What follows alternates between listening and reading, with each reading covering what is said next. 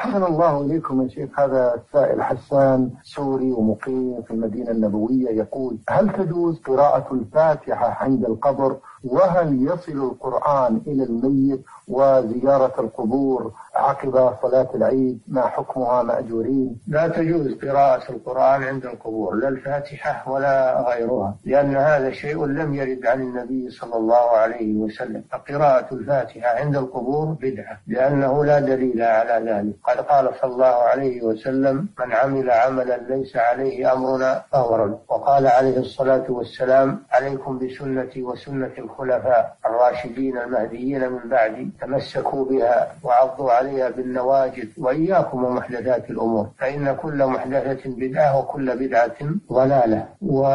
فالقراءة عند القبور من هذا القبيل أنها محدثة وليست من سنة الرسول صلى الله عليه وسلم. وزيارة القبور مشروعة لا, لا لأجل قراءة القرآن عندها وإنما لأجل الاتعاظ والاعتبار بأحوال الموتى.